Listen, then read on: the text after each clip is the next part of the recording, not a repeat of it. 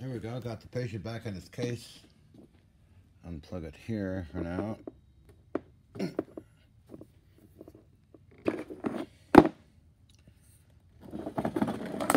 This is the unit I repaired today, yeah. I just remembered of some DREP, just Defense Establishment Pacific.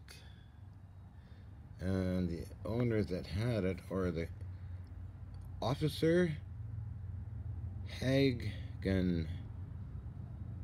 Let's see.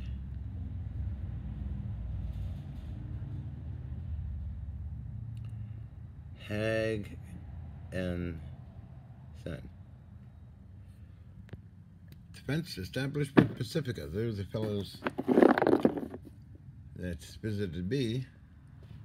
And we did a demo for a couple of days or a day or two.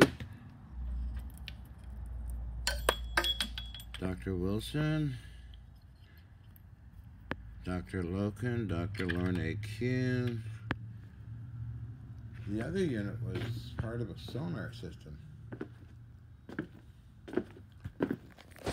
It was a Crown Amp model six, what, 600?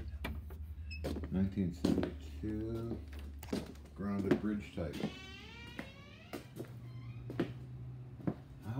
Have anymore. It's kind of bit the dust one time, but okay, I just want to make that notation.